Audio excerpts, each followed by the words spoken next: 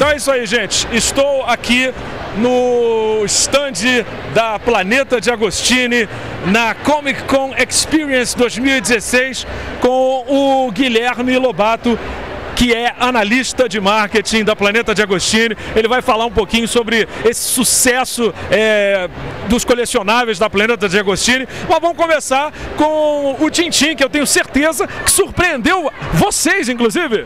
Com certeza, é uma coleção que a gente trouxe agora. São 29 edições do Tintim. Cada coleção acompanha ó, um livro falando sobre um personagem específico e também acompanha uma figura pintada à mão de alta qualidade Todos as figuras são de poliresina, então tem detalhes muito bons. E cada livro conta a história do personagem e curiosidade sobre a obra do Erigê.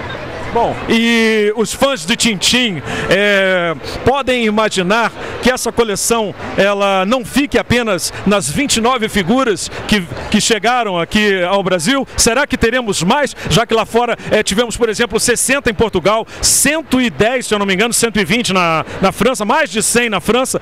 seria possível?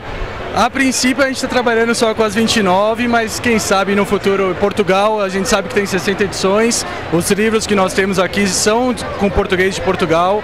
E quem sabe, né, no futuro a gente aumente um pouco, mas por enquanto são 29 só. Bom, e diga para né, os fãs de Tintim e os fãs da Planeta de Agostini como eles fazem para adquirir esta coleção.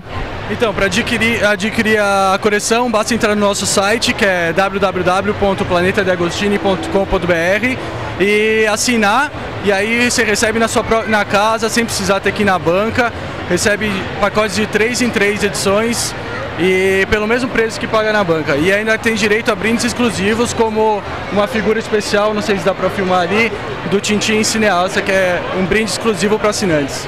Cara, queria agradecer a você por essa entrevista ao site Tu Já Viu, te parabenizar não só pelo lançamento das figuras de Tintim, como também é, pela, pelos colecionáveis é, relacionados à Guerra nas Estrelas, aos, aos super-heróis. Ah, eu que agradeço a, ajuda de vocês.